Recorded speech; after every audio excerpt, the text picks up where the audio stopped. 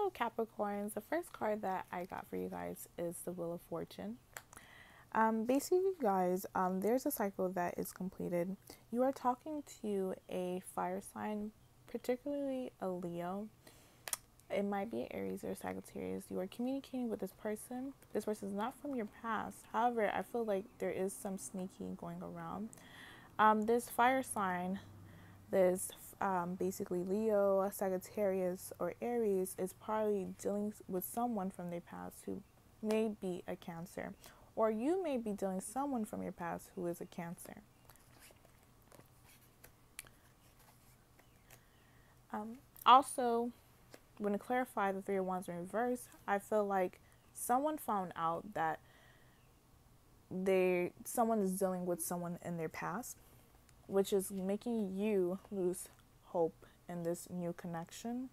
Um, basically, this relationship, this new relationship with that fire sign, it's not going to go through. It's not going to happen. I'm going to clarify the, pa- the Page of Pentacles in reverse. I got the Magician reverse and the Hierophant.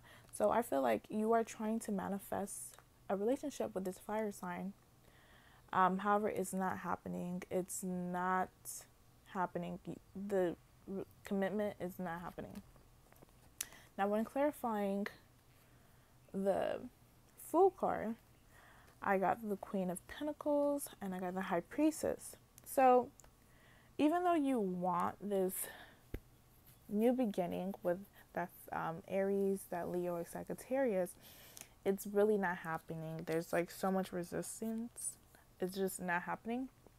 There's no new start. I feel like this person is dealing with their past or you're dealing with your past, which is making it very complicated to get a new relationship. Even though you may be someone who is a perfect example of being a wife with the Queen of Pentacles, like you can take care of your family, you're family oriented, you're wife material. It's just not happening. This person is really stuck on their past, which is it sense to the Six of Cups in reverse. Like they really like stuck with within their past. So it's making it very difficult. Um, then you have the High Priestess in reverse, which is saying like it's not the right time for you guys to basically be together. The general energy is the Three of Cups. I want to clarify the Three of Cups. I got the Queen of Cups in reverse. So I feel like you guys are basically kind of giving up on love for now, especially with that fire sign, that Aries or Leo or Sagittarius you more focus on with your family you more focus about with your family and friends like having good times trying to make your mind stay away from um, that potential with that relationship.